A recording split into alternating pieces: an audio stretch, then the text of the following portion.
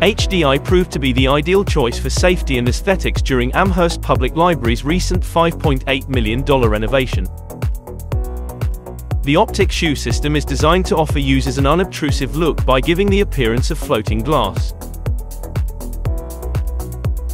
With a patented disc lock system, a stainless steel channel secures glass panels in place, providing an uninterrupted appearance.